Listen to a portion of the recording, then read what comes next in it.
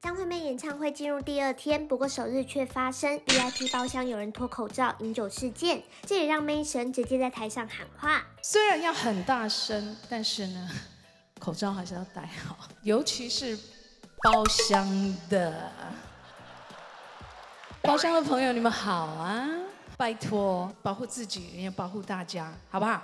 而阿妹除了关心大家防疫要做好之外，一向很支持同志议题的她，也跟大家分享心里的愿望。很想跟大家说一件事情，就是你们知道彩虹就是很多颜色，它重叠在一起的时候，它会变白色的。所以我有我有一个心愿呐，我想。从此之后呢，我希望同志这个称谓可以从世界上消失，因为我觉得没有人因为自己喜欢同性而被冠上一个好像呃很特别的称谓这样子。其实我们都一样，没有不一样，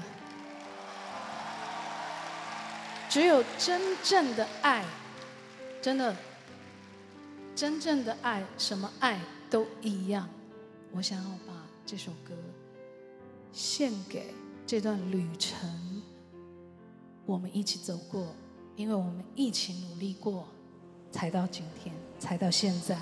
当天空昏暗，当气温失常。